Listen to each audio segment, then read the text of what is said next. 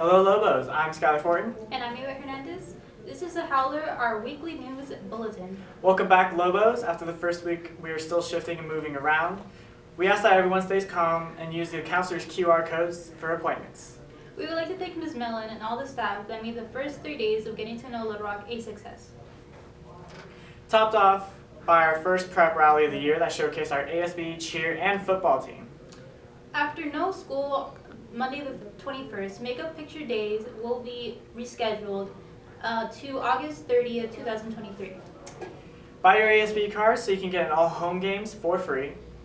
For JROTC, this past summer, some of our JROTC cadets attended the JROTC Cadet Leadership Camp from June 8th to June 11th.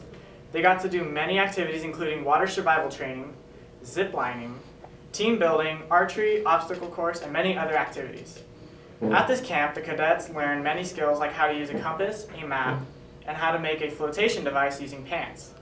This trip was a very fun experience for all the cadets that went, and they have all said that they would love to go on a trip like this again.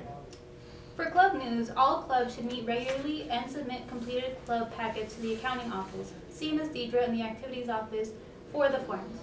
Mark your calendars, August 24th and 25th, grade level assembly. September 4th is Labor Day, it is a holiday. September 6th, back to school night. Hmm. This has been The Howler. I'm Ivette. I'm Skyler Fortin.